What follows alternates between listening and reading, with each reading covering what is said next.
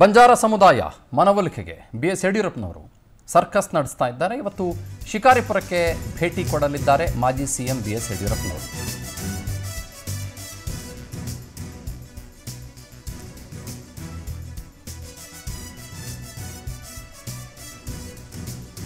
ಬಂಜಾರ ಸಮುದಾಯದ ಮುಖಂಡರ ಜೊತೆಗೆ ಬಿ ಎಸ್ ಯಡಿಯೂರಪ್ಪನವರು ಸಭೆ ನಡೆಸಲಿದ್ದಾರೆ.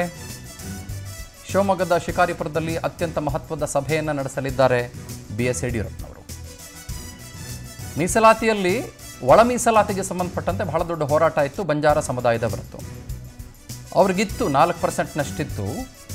ಆದರೆ ಹದಿನೇಳು ಪರ್ಸೆಂಟ್ನ ಓವರಾಲ್ ಎಸ್ ಸಿ ಮೀಸಲಾತಿಯಲ್ಲಿ ಐದೂವರೆ ಒಂದು ಕಡೆಗೆ, ಆರು ಒಂದು ಕಡೆಗೆ ನೀವು ಎಡ, ಬಲ ಅಂತ ಒಳ ಮೀಸಲಾತಿ ಕೊಟ್ಬಿಟ್ರೆ ಇನ್ನು ಉಳಿದು ಹೋಗಬಹುದಾದಂಥ ಪರ್ಸೆಂಟೇಜ್ನಲ್ಲಿ ನಾವು ಬೇರೆ ಎಲ್ಲ ಸಮುದಾಯಗಳ ಜೊತೆಗೆ ಹಂಚ್ಕೊಳ್ಳೋದ್ರಿಂದ ನಮಗೆ ಎಲ್ಲಿ ಸಿಗುತ್ತೆ ಮನ್ನಣೆ ಅನ್ನೋದು ಅವರ ನಿಲುವಾಗಿತ್ತು, ಅವರ ಹೋರಾಟ ಆಗಿತ್ತು.